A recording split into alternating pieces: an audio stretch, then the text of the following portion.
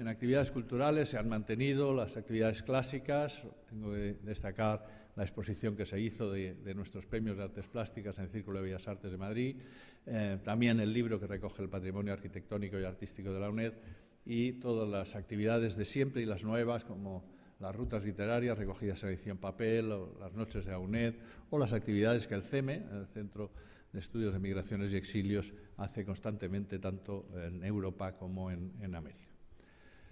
En responsabilidad institucional tengo que subrayar en que hemos sido los primeros, eh, los pioneros en la elaboración de una memoria de responsabilidad social, al mismo tiempo que dos o tres universidades, que se ha dado un impulso sustancial en las actividades ligadas a la igualdad de género, que se ha puesto en marcha el defensor universitario y que se ha potenciado el servicio de inspección, que son instituciones fundamentales para un mejor funcionamiento de la universidad.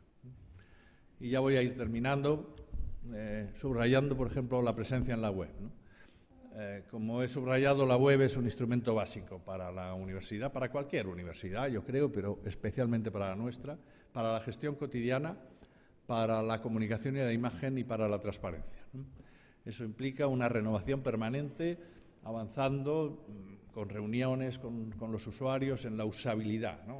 teníamos una web muy administrativa donde solo quien conocía la organización de la casa encontraba las cosas, porque tenía que ir al vicerrectorado, al servicio correspondiente, y ahora se intenta poner mucho más pensando en el usuario que no tiene por qué conocer eso. Se crean una media de 3.000 páginas anuales y mm, se incorporan las actividades, las iniciativas de la comunidad universitaria permanentemente para también ganar visibilidad en aquello que se está haciendo. Los datos son también espectaculares. Eh, los datos del último año, según Google Analytics, son eh, de 38 millones de visitas, además, como ven, con bastante tiempo, y 26,4 nuevos visitantes, prueba de que seguimos creciendo, de que seguimos presentes. Somos, sin duda, eh, importantes. Eh, esa cifra que decía antes de un millón de visitas a la semana y más de 100.000 seguidores en redes sociales. Y un aspecto importante también en ganar visibilidad es UNED abierta.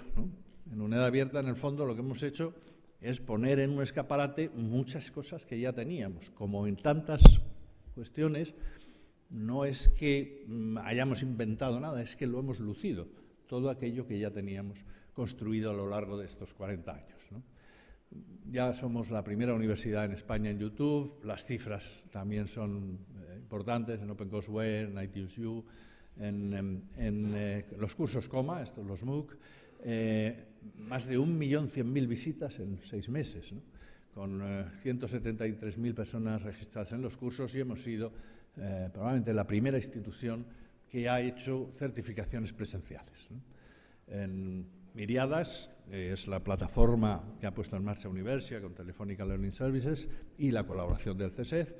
Em, hemos sido líderes absolutos, tanto cuantitativa como cualitativamente. Hemos sido los que más cursos hemos presentado, hemos ganado el primer premio, participado activamente en algún otro y también hemos ganado otros premios en, eh, cursos de OpenCourseware.